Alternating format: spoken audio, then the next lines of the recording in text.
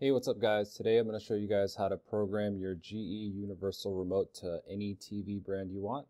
Today I have here with me an LG TV, but this will work for any TV brand. Samsung, LG, Vizio, Hisense, Insignia, TCL, pretty much any uh, TV brand. So the first thing that you need to do is find your code list. So grab your sheet of paper that came with it. If you don't have it or maybe you lost it, that's okay. We'll have a link to a PDF file so that you can um, check it out. So first, we're going to go ahead and um, try to find that code. So I am going to do that on my phone and we're going to look for it together. All right, so here's the code list, the code list, and I'm going to go ahead and scroll over and look for LG. All right, so there we see the LG codes. 6021, 0001, and there's five other codes. Once you have your list of codes, go ahead and jot them down.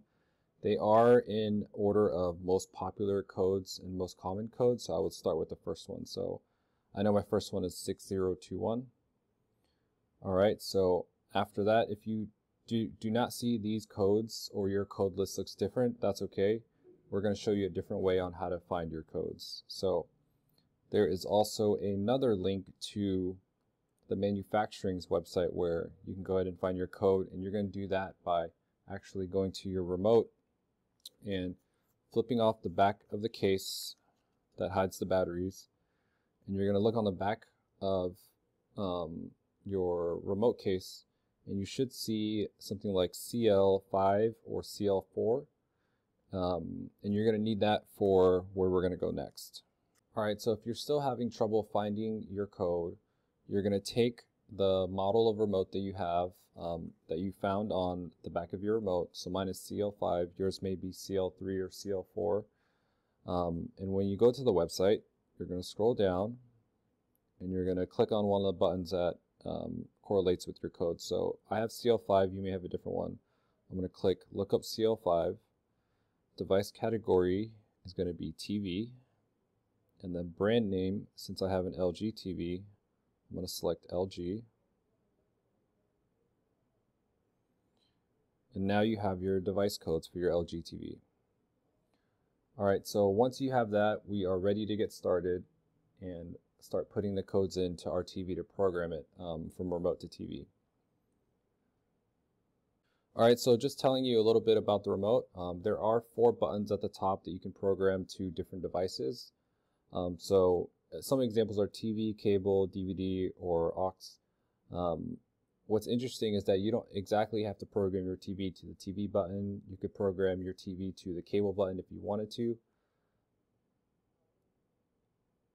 All right, so first thing that we're going to do is you're going to take your remote and you're going to hold setup until the red light turns on. So your power button is going to turn red, and then after that, you're going to select the button that you want to program. So I'm going to select TV. And then after that, you're going to go ahead and enter in your code. So I'm going to type in 6021. After that, the red light will turn off. All right, after the code is entered, you're going to go ahead and test the remote to make sure that everything is functioning as it should. Now, if you don't test it, um, fully, then you may run into issues later. For example, I thought that I was good after checking the volume buttons, but then later I found out that the mute button wasn't synced to the right button. So you want to make sure and test it thoroughly. So I'm going to go ahead and test it. I'm going to hit up, uh, volume up, volume down. Volume looks good. I'm going to click on the mute button. Mute's good. Next, I'm going to hit input. All right, looks like input works.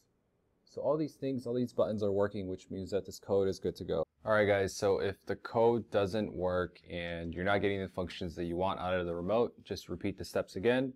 Again, hold setup, then hit TV, and then enter in the next four digit code on your list. And hopefully that should help you guys get the right settings. So if you enjoyed this video, give us a like, comment, and subscribe, and I hope to see you guys in the next video. See ya.